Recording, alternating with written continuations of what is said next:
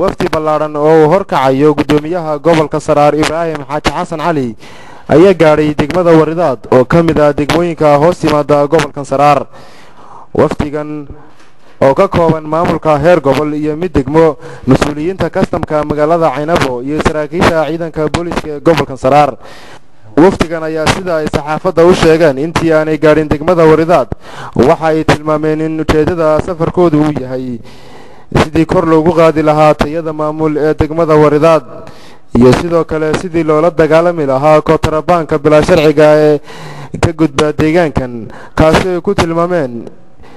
in dadka wada kootarabaankaasi ay xidhayaan dekeda berbera islamarkaasina ay camirayaan dekeda boosaaso. Waxaa sidoo kale safarka wafdigan ballaadhan ee haadka u heerka sarreeya aan iyaduna ka maqnayn la dagaalanka goynta iyo gubidda dhirta qoyan. Ugu horreynba wafdigan ayaa markii ay gaadheen degmada waridaad waxay kulamo gooni gooniya la yeesheen odayaasha waxgaradka iyo culimaadudiinta degmadaasi waridaad waxaana ay dhammaantoodba kala hadleen sidii loo horumarin lahaa degmada waridaad islamarkaasina degmada waridaad looga dhigi lahaa mid maamulkeedu si fiican u shaqeeyo islamarkaasina la jaanqaada nidaamka dowladnimo ee gobolkan saraar haatan uu ku tallaabsaday. Ugu dambayntiina shir ballaadhan oo kaga wada hadlayay horumarinta degmada waridaad ayaa maanta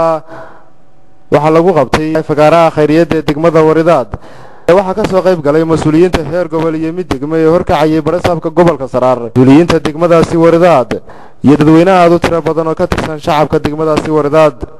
ugu horreynba waxaa kulankan ka hadlay maayirka degmada waridaad cilmi jaamac indhadeero oo qirtay in wakhtigii hore uu ka seexday horumarinta degmada waridaad balse waxa uu haatan ballan qaaday inuu guntiga u xidhan doono sidii uu horumarin lahaa degmadiisa waridaad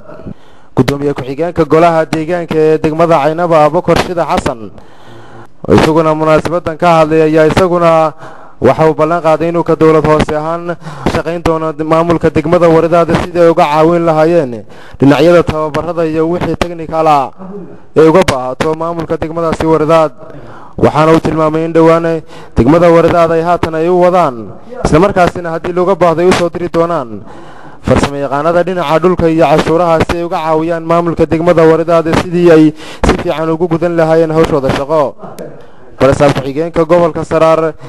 ibraahim jaamaca maxamed oo isaguna munaasabadan ka hadlay ayaa tilmaamay in cashuuruhu yihiin lafdhabarta dhaqaalaha dalka. Waxaana uu tilmaamay in haddii aan la helin cashuur islamarkaasina aan shacabku iska bixin cashuurta aan dhaqaale jirin shacabka reer waridaadna ugu baaqay inay iska bixiyaan cashuurta. Taliyaha qaybta booliska ee gobolka saraar jaamaca guudcadde ayaa ka codsaday shacabka reer waridaad inay la shaqeeyaan ciidanka booliska waxaana uu tilmaamay inay haatan degmada waridaad keeneen ciidan booliiskaasoo ka shaqayn doona nabadgelyada guud ee degmada waridaad iyo weliba la dagaalanka kootarabaanka iyo weliba goynta iyo gubidda lagu hayo dhirta qoyan waxaa iyaguna munaasabadan ka hadlay qaar ka mid a odayaasha iyo waxgaradka degmadaasi waridaad kuwaasoo dhammaantoodba ballan qaaday inay ka shaqayn doonaan sidii ay isaga bixin lahaayeen cashuurta islamarkaasina ay uga qayb qaadan lahaayeen sidii loo horumarin lahaa degmada waridaad ugu dambayntiina waxaa kulankan soo afmeeray barasaabka gobolka saraar ibraahim xaaji xasan cali oo maamulka degmada waridaad kula taliyey islamarkaasina ku dardaaray inay u shaqeeyaan shacabka ay mas'uulka ka yihiin. Waxaana uu tilmaamay barasaabku in degmada waridaad ay tahay lafdhabarta gobolkan saraar islamarkaasina sidoo kale ay tahay xudunta dalkan jamhuuriyadda somalilan kala badha. Waxaana barasaabku uu tilmaamay in degmada waridaad ay muhiimad weyn ugu fadhido gobolkan saraar iyo guud ahaanba dalkan jamhuuriyadda somalilan waxaana uu shacabka iyo maamulka guud ahaanba degmada waridaad uu ka codsaday inay ka wada shaqeeyaan sidii loo horumarin lahaa degmada waridaad haddii ay dhaqaagsan kari weydaan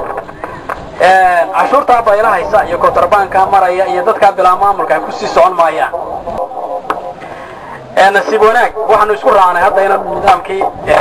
degmada waridaad uu hawl galo. Cashuurihii waa u diyaar way haystaan. Miyihiina waxaanu isku waafaqnay in boorka laga tumo si kastaba ha ahaatee waxaa maanta miya degmada waridaad iyo deegaamada hoos yimaadaba si rasmi uga bilowday. Bixinta iyo ururinta cashuurta iyo weliba sidii loo qaqaban lahaa kootarabaanka bilaa sharciga